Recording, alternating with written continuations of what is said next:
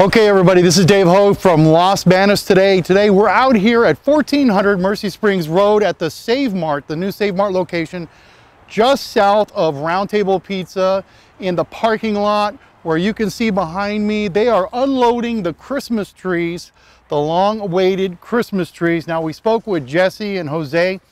Uh, Jesse's the assistant store manager here and we asked him some questions uh, so we could give you guys some general information about your Christmas trees, what you can expect, the services that are going to be offered. And here's what they had to say. And uh, we wanted to know about how many trees were out here. We've got about 600 trees that just arrived today. And uh, the heights of the trees are between six and seven feet. So about six to seven feet. Um, they are not going to be offering flocking services this year. The flocking is where they paint the trees white. Uh, but they are looking into delivery services. That is not, they did not say they were gonna have it, but they are looking into it. So we'll get back to you a little bit later.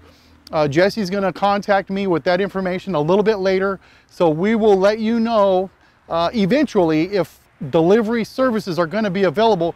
Now, if they are, Jesse said that they would be offered through a third party service provider.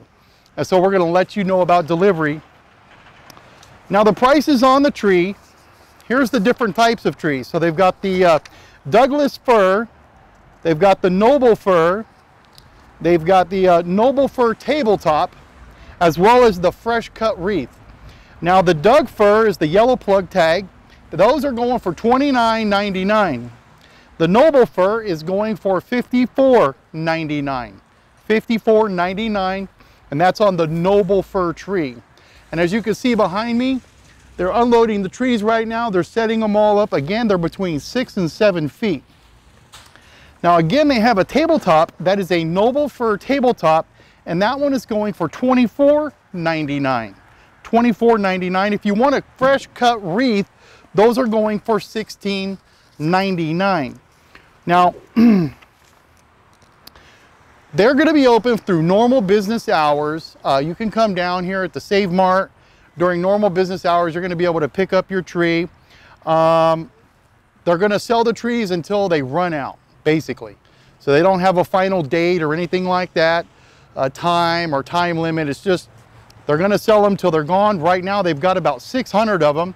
And uh, we wanted to know if they offered ornaments and other things for decorating the tree, etc. Jesse said, of course head on into the Save Mart and uh, you'll be able to pick up some ornaments and uh, trees and different different ornaments. Again, they've got the noble wreath and uh, everything for you to decorate your tree this holiday season as well as the lights and all the other stuff.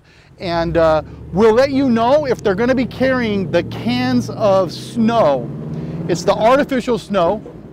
They won't be offering the flocking services, but I'm gonna check out if they have the cans of snow for you to spray your tree with and decorate your tree, etc. Again, we're gonna get back to you on the delivery services that they may be offering through a third-party provider. Uh, so again, we're out here on the corner of Pacheco Boulevard and Mercey Springs Road.